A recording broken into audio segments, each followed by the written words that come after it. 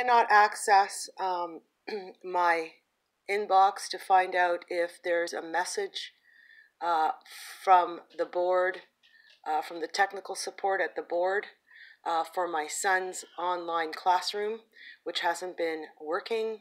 Um, and as and every time I get to now the mouse is out of whack. Every time, okay, the mouse is like sort of going on, going off on its own here. It is also possessed. Every see every time I try to get my password in, it disappears. Abs- I cannot believe this. The the mouse, okay, the cursor keeps going to the left, keeps flying to the left, and I keep trying to anchor it back.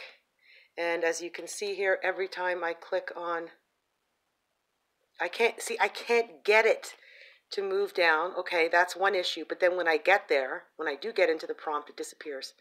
Okay, playing peekaboo here. So I cannot fix this for my son so he can go online onto the online classroom.